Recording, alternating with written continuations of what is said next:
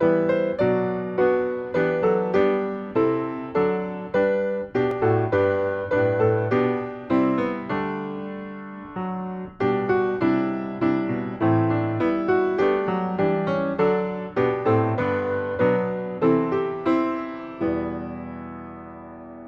Welcome to this daily devotion for Wednesday, February 23rd, 2021. I'm Pastor Mark, along with Pastor Wesley. We serve the United Methodist Church of New Lenox and offer this daily devotion to you as a way that we can grow together in love of God and love of neighbor.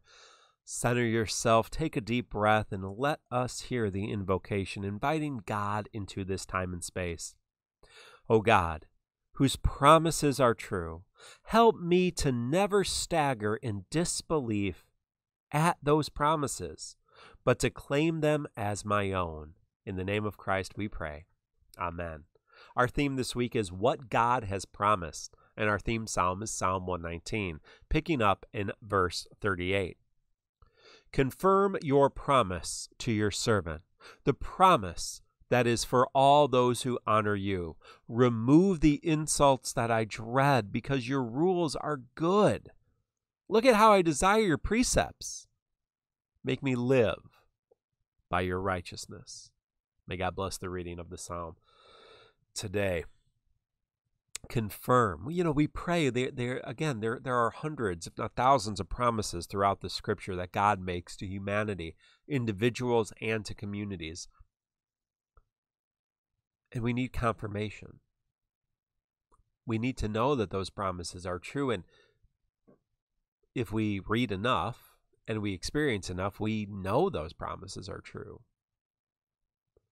And take some time.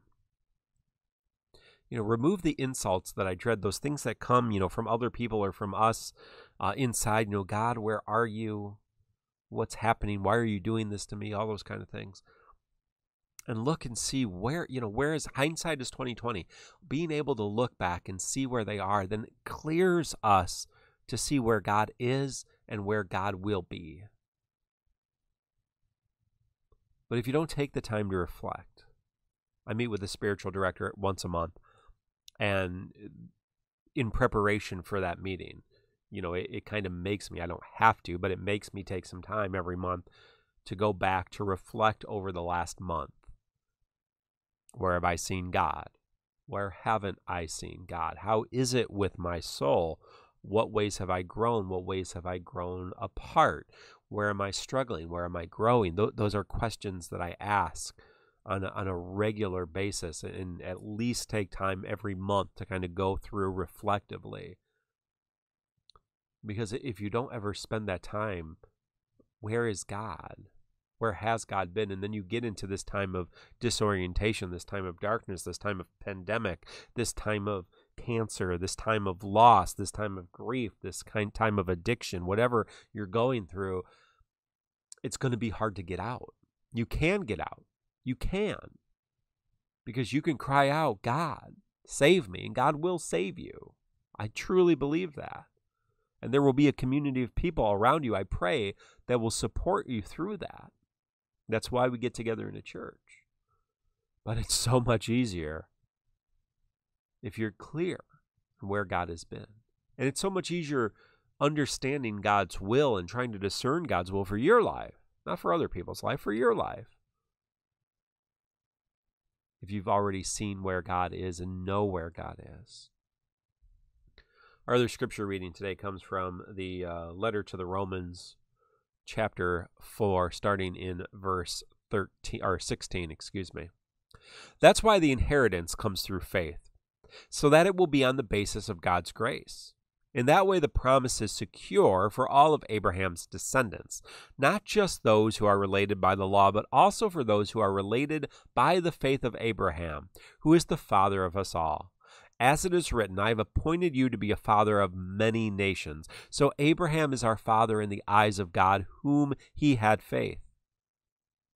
The God who gives life to the dead and calls things that don't exist into existence. When it was beyond hope, he had faith in the hope that would come to the father of many nations, in keeping with the promise God spoke to him. That's how many descendants you will have. Without losing faith, Abraham, who was nearly 100 years old, took into account his own body, which was as good as dead, and Sarah's womb, which was also dead. He didn't hesitate with a lack of faith in God's promise, but he grew strong in faith and gave God the glory. He was fully convinced that God was able to do what he promised. God bless the reading today. That story of Abraham and Sarah, uh, Abram and Sarai, is a beautiful story because, for all accounts, they could never have children. And yet God said, You will be the father of many nations. And we know they did. They had biological children, but there could have been other ways they could have become parents, of course. And again, it's it's just a it's a testimony, and you see it throughout Scripture that if God says this will happen, it will happen. Now, I mean, we can all read that, and we can read yes, God's promised that we'll all have children, and, and we know that that's not true. Uh, and so we have to be careful how we interpret these promises. Uh, but, you know, for me and my wife, Jennifer and I, when we got married, we really believed that God had placed that promise on our lives. Uh, and we went about it in some ways uh, that were pretty painful, very truthfully.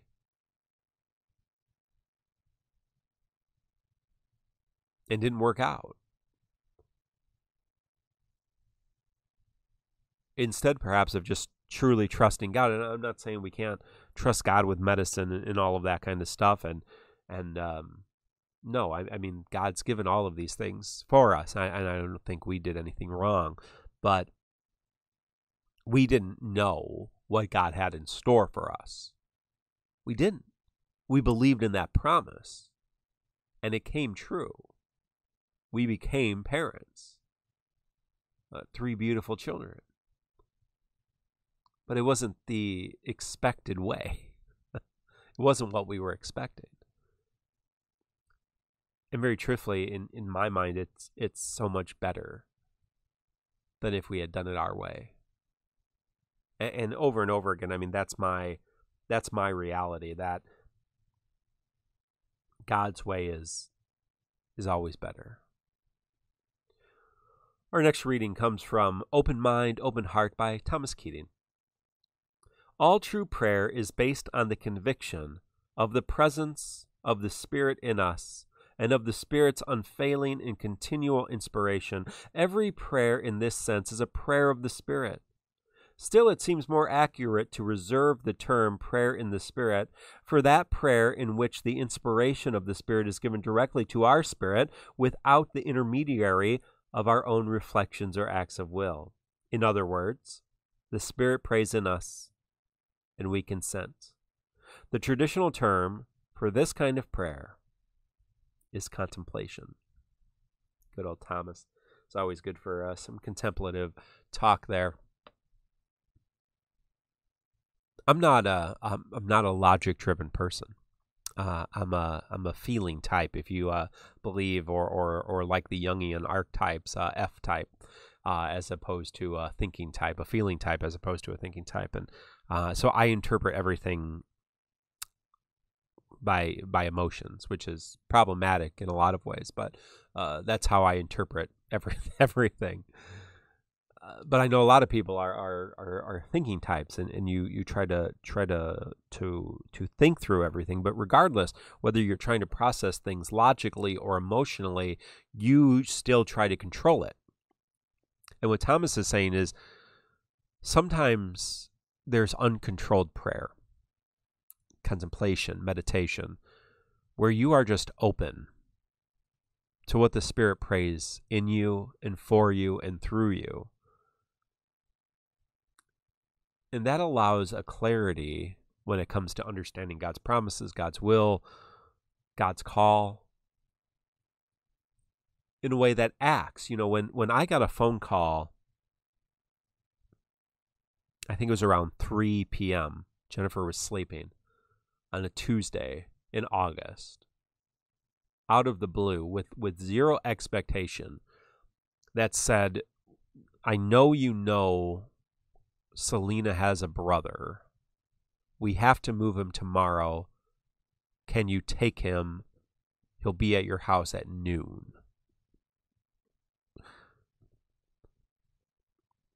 If I had stopped and prayed my my emotional or logical prayers, if I had stopped and made a, a list of pros and cons, or woke Jennifer up and we had, you know, we really discussed it. You know, do we have enough money for this? Are we ready for this? You know, Selena was living at a, a children's home. She wasn't in our house. Our house was not prepared for children. We were both working full time. Would we be ready for this? Uh, and the answer is no. uh, but what we did is I woke Jennifer up and we prayed and we we knew because the prayer wasn't us, the prayer was God saying, This is the promise. So we said, Yeah, I mean, almost instantaneously, without hesitation, without thought, because it was the Spirit moving in us. And I have lots of different stories about that, and, and I hope you do too. It's not always about you. It's not about you. It's my favorite Dr. Phil thing. It's not about you. it's about what God has in store for you. And sometimes God gives you the words and the feelings when you can't. Today we pray for those in leadership. Tragedy after tragedy, uh, national crisis after national crisis. It, it's it's got to be tiring uh, it's tiring for us, but it, it's got to be tiring for leaders, and uh, and it's tiring for church leaders. I know so many pastors, and, and yes, I mean there are people all over the spectrum at umcnl.com, uh, just umcnl. uh, if you want to connect with us, umcnl.com. But uh, at our church, you know there are people in all different spectrums, all different understandings, all different opinions. Uh, but I feel like we have created a community, or are trying to create a community where you know we, we're being safe that we're we're taking things into consideration. We're working together as as groups of people to to make these decisions and and and so many of our colleagues so many clergy in, in our area are, are just bombarded with hatred and and and fear and anxiety and why aren't you doing this? Why are you doing this? And we're going to lose clergy this year, friends. Uh, we're going to lose good community leaders, good political leaders. We're going to lose teachers. We're going to lose firefighters. We're going to lose police officers. We're going to lose military men and women. We're going to lose people who lead. Because sometimes those of us who don't lead don't follow very well and are just mean. And so I don't care what you think about any of our leaders. You pray for them diligently, and I have. I'm not just saying, you know, because this, that, or the other thing, or I like the particular leadership that we have right now.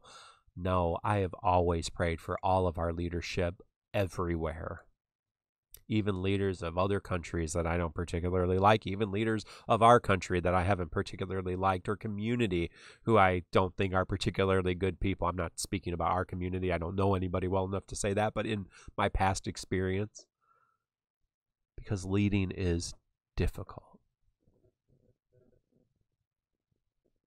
And even those of us who are in leadership, we pray for each other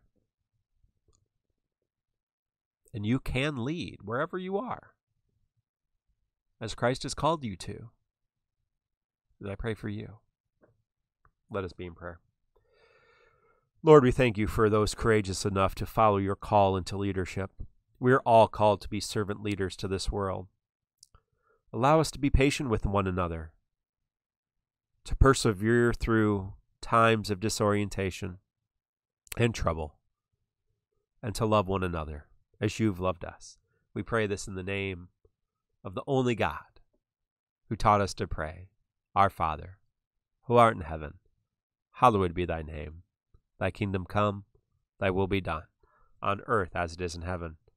Give us this day our daily bread, and forgive us our trespasses, as we forgive those who trespass against us. And lead us not into temptation, but deliver us from evil. For thine is the kingdom, and the power, and the glory forever. Amen. Friends, until tomorrow. Goodbye.